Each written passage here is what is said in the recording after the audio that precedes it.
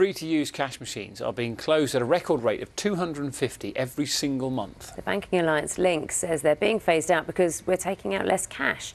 Here's more from our personal finance correspondent Simon Gompertz.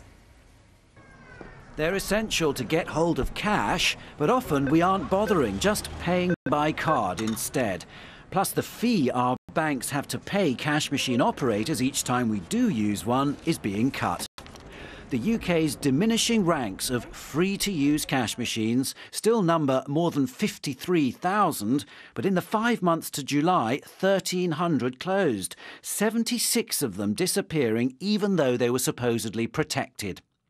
Link, which coordinates the network, has tried to protect free machines in remote areas by persuading banks to pay a higher fee per withdrawal to the operator. But some have been removed anyway. In 21 cases, there wasn't even a post office nearby to get cash over the counter.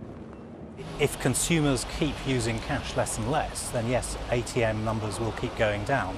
And what Link needs to do is make sure that it doesn't come out of quiet, rural and remote areas. And if we find we can't do that, then we will need to go and ask for help from our regulators and from other policymakers.